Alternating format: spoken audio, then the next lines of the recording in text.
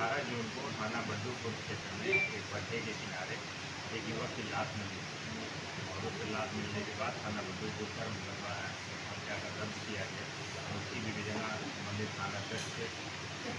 सुमित त्रिपाठी द्वारा शुरू की गई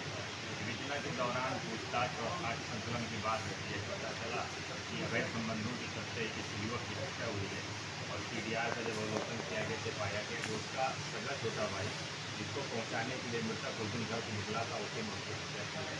पूछताछ में युवक ने अपनी द्वारा घटना किया जाना स्वीकार करते हुए बताया कि जिस अवध में उसका भाई विदेश में रहता था, उस दौरान उसके अपने संबंध अपनी भाभी से हो गए थे और भाई जब विदेश से लौटा, इस संबंधों में बाधा बन रही थी और इसी बाधा को दूर करने के इरादे से इसने बहाने से भाई को घर से दूर ले जाकर बड्डूपुर थाना क्षेत्र में चाकू मार करके घायल करके गर्दन काट दिया जिससे उसकी मौके गिरफ़्तार कर लिया गया न्यायालय के लिए।